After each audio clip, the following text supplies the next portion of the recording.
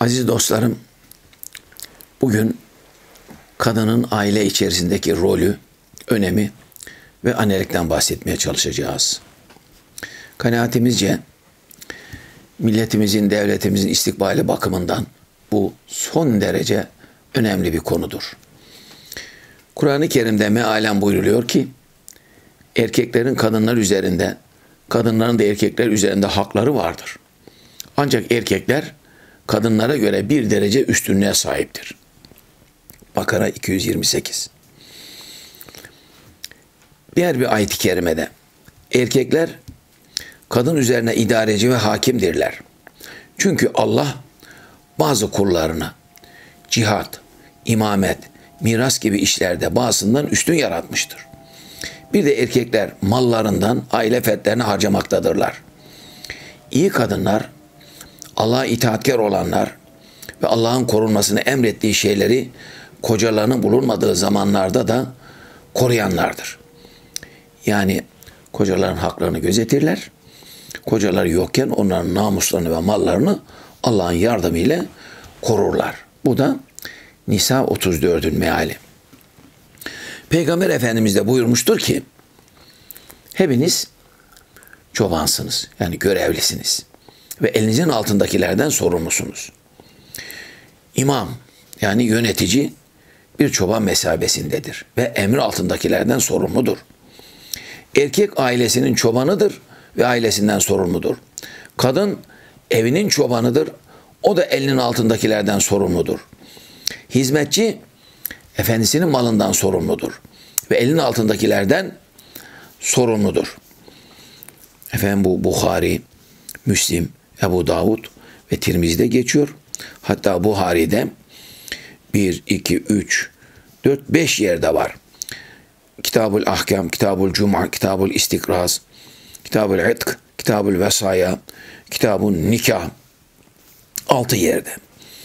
Müslim'de Kitabul İmare, Ebu Davud'da Kitabul İmare, Tirmizi'de Kitabul Cihat'ta. Resulullah Efendimiz ev işlerini Hazreti Fatıma'ya dış işlerini Hazreti Ali'ye vermiş. Bu hususta şöyle buyurmuştur. Hanımının evde oturması için işlerini gören, ihtiyaçlarını karşılayan, onu yabancı erkeklerin görmesinden koruyan, ümmeti Muhammed'in düşmana esir düş, düşenlerini satın almış, azat etmiş gibi sevaba kavuşur. Ya Fatıma, ne mutlu o kadına ki Kocası ondan razı olur. Allahu Teala'nın farz kıldığını yapmaktan ve kocasını itaattan sonra kadınlar için yün eğirmekten, iplik bükmekten üstün iş yoktur. Bir saat yün eğirmek, iplik bükmek veya dokumak kadınlar için bir yıl ibadet etmekten daha sevaptır.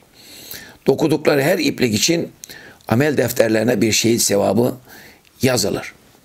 Yine Peygamber Efendimiz buyurmuştur ki, beş vakit namazını kılan, malının zekatını veren, Ramazan-ı Şerif orucunu tutan, kocasının günah olmayan işlerinde ona itaat eden ve tesettüre uyan kadın cennete istediği kapıdan girer. Peygamber Efendimiz kendi kızına ve diğer kadınlara şehit sevabı kazanmak için ev işleriyle meşgul olmalarını emretmektedir. Başka bir hadis-i şerifte de kadının cihadı kocası ile iyi geçirmektir buyurulmuştur.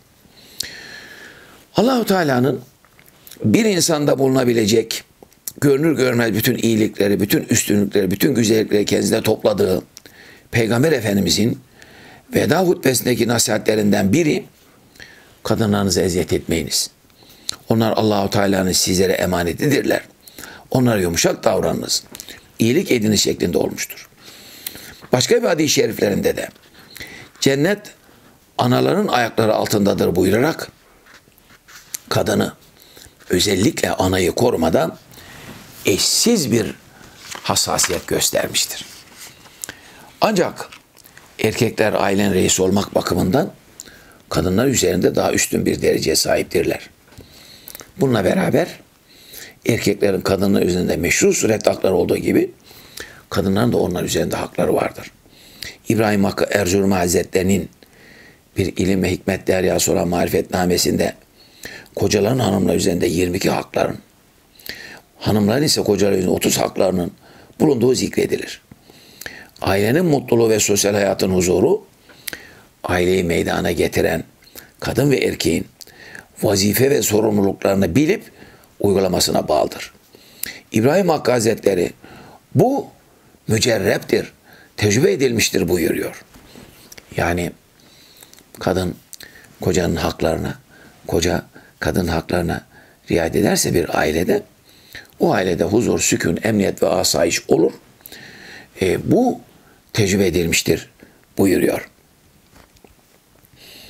Aile içinde kadın ve erkeğin birbirlerini anlayıp hoşgörü sahibi olmaları aile saadet için şarttır. Karşılıklı saygı ve vazifelerin ne olduğunu bilinmesi yuvanın huzurlu olması için önemli hususlardır. Peygamber Efendimiz buyurmuştur ki kadınları Allah'ın emaneti olarak aldınız. Onlara yaklaşmanız Allah'ın emriyle helal kılındı. Sizin onların üzerinde hakkınız olduğu gibi onların da sizin üzerinizde hakları vardır. Yatağınızı kimseye çiğnetmemeleri ve maruf olan hususlarda size baş kaldırmamaları onlar üzerindeki haklarınızdandır. Onlar bu haklarınıza riayet ederlerse maruf üzere rızıklandırılıp giydirilmeleri onların hakkıdır. Hazreti Ayşe radıyallahu anh'a annemiz anlatıyor. Sevgili peygamberimiz buyurmuştur ki sizin en hayırlınız ailesine karşı en iyi davrananızdır. Ben aileme karşı hepinizden daha iyi davranıyorum. Arkadaşınız öldüğü zaman kusurlarını zikretmeyi terk edin. Yani aile fertlerinden birisi öldüğünde kalan onun sırlarını artık açığa çıkarmamalıdır. Bu Tirmizi'de geçen bir hadis-i şerif. Kadınlara iyi davranın hadisi hem Bukhari hem Müslim hem de Tirmizi'de geçiyor. Yine Müslim ve Tirmizi'de geçen bir başka hadis-i şerif var. Kadınlara iyilik edin. Çünkü onlar size birer emanettir. Onlara iyi davranma dışında başka bir şey yapma hakkına sahip değilsiniz. Bilin ki sizin kadınların üzerinde bazı haklarınız vardır. Kadınlarınızın da sizler üzerinde bazı hakları vardır. Kadınların üzerindeki haklarınız istemediğiniz kimselere yatağınızı çiğnetmemeleri, evlerinize hoşlanmadığınız kimselerin girmesine izin vermemeleridir. Onların sizdeki hakları ise yiyecek, mesken ve giyecekler nafaka konusunda iyi ve ölçülü hareket etmenizdir. Yine Peygamber Efendimiz buyurmuşlardır ki Müslümanların iman yönden en üstünü, ahlakı en güzel olanı, hanımına en iyi, en lütufkar davrananıdır. Tirmiz'de geçiyor. Müslümanların en iyisi, en faydalısı, hanımına en iyi, en faydalı olandır. Sizin aranızda hanımına karşı en iyi, en hayırlı, en faydalı olan benim Nesai. Hanımının ve çocuklarının haklarını ifa etmeyenin namazlar, oruçları kabul olmaz. Mürşidün Nisa isimli kitapta zikredilen bir hadis-i şerif. Kocası razı oluncaya kadar kadının namazları ve hiçbir iyiliği kabul olmaz. Taberani. Peki burada namazları kabul olmaz demek ne demek? Namaz borcundan kurtulur. Fakat namaz kılmakla meydana gelecek büyük sevabı kavuşamaz demektir. Namazı boşa gider demek değildir. Bir kadından kocası razı olmazsa kadın günahının cezasını çektikten sonra ancak cennete girer. Cennete sadece kafirler girmez. Müslümanın günahı çok olsa da sonunda mutlaka cennete girer. Erkek evine gelince hanımına selam verip hatırını sormalı, üzüntü ve sevincine ortak olmalıdır. Çünkü o başkalarından ümitsiz ve yalnız kendisine alışmış bulunan dostu, dert ortağı, kendini neşelendiricisi, çocuklarını yetiştiricisi ve çeşitli ihtiyaçlarının gidericisidir. Ev hanımlığı son derece zor işlerdendir efendim. Hadis-i şeriflerde buyuruluyor ki, haksız olarak hanımını dövenin kıyamette hasmı ben olurum. Hanımını döven Allah ve Resulüne asi olur. Diğer bir hadis-i şerif Müslim'de geçiyor. Kadınlarınızı eziyet etmeyiniz. Onlar Allah'ın sizlere emanetidirler. Onlara yumuşak olunuz, iyilik ediniz.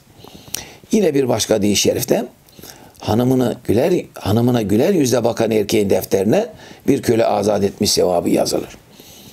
İbn Hal'de hanımı ile iyi geçirip şakalaşanı Allahu Teala sever, rızıklarını arttırır.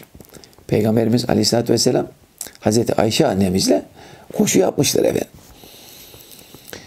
Çekirdek aile ana baba ve çocuklardan meydana gelir. Aileden gaye neslin devamını sağlayan çocuktur. İnsanın öldükten sonra iyilikle anılması için topluma faydalı bir eser veya faydalı bir ilim yahut hayırlı evlat bırakması gerekir. Bu da annenin yapabileceği bir iştir efendim. Her şey bitip unutulduğu halde bunlar unutulmaz ve ölen insanın hayırlı işinin devamını temin eder. O halde çocuğun örnek şekilde yetiştirilmesi anne ve babanın ortak vazifesidir. Anne çocuğunu bizzat emzirip büyüttüğü, devamlı iyi ahlakı anlattığı gibi bunların ev, yiyecek, yiyecek ile maddi ve manevi ihtiyaçlarını karşılamakta önce babanın vazifesidir. İslamiyet ahlak ve ilme en büyük kıymeti verip cahilliği ve ahlaksızlığı reddeder. Onun için her anne ve baba çocuğuna ilmi, ahlaki ve dini görevlerini öğretmelidir. Öğretmezlerse mesul olurlar. Çünkü her çocuk sevmeyi, sevilmeyi, saygıyı burada öğrenir. Disiplin ve düzenli hayata burada alışır. Allahu Teala'ya inanmayı, peygamber sevgisini, vatan millet aşkını, gelenek ve göreneklerine saygıyı hep burada öğrenir. Çocuklar 6 yaşlarına kadar kişilik özelliklerini aileden alırlar. Bu sebeple ailenin düzenli olması çok önemlidir. Aile hayatının düzenli olması çocukların şahsiyet ve güzel karakter olarak yetişmesini sağlar. Terbiye etmek için anne baba gerektiğinde evladına sertlik gösterebilir. Yalnız bu masum yavrunun körpe vicdanında derin yaralar açan dayak şeklinde olmamalıdır. Fazla sertlik göstermek pek çok çocukta yalancılık, hile ve hareketlerde dengesizlikler meydana getirir. Anne ve baba kız ve erkek çocuklarını devamlı gözetmeli, bilhassa onları kötü arkadaştan koruma için çok gayret göstermelidir. Kötü arkadaş çocuğun en büyük düşmandır. Efendim bakınız bizim bir e, örfümüz, adetimiz, dinimiz, geleneklerimiz, tarihimiz var değil mi efendim? 1935 yılında Kudüs'te toplanan misyoner konferansında rahip Samuel Zivemer biz Müslümanları dinlerinden uzaklaştırmalıyız. Bir Hristiyan gibi yaşatmalıyız diyor. Oradaki misyonerlere talimat veriyor. Zarar yok. Haç takmasınlar, vaftiz olmasınlar, kiliseye gelmesinler. Ama birer Hristiyan gibi yaşasınlar ve bunu da çağdaşlık adı altında yapmalıyız diyor. Hemen yine bir belge daha takdim edeyim sizlere. Onunla konuşmamızı bitirelim. 1932 yılında Belçika'nın Spa şehrinde bir dünya güzellik yarışması açılmıştır. Oradaki jüri başkanı Türk kızı Kerman Halisi biz dünya güzeli seçeceğiz bir defaya mahsus olmak üzere ama kadehlerimizi Hristiyanlığın zaferi için kaldıracağız. Bunun dedesi Kanuni Sultan Süleyman Han Paris'te oynanan dansa bile müdahale etmişti. Onun torunu olan kızın hangi kıyafette karşımıza geldiğini gördük.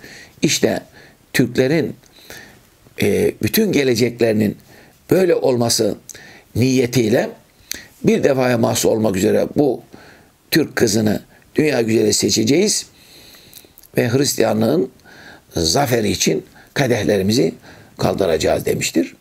İşte bu düşmanların, bu Hristiyanların e, bu planları karşısında Müslümanın nasıl davranması gerekir onu artık anlayalım efendim.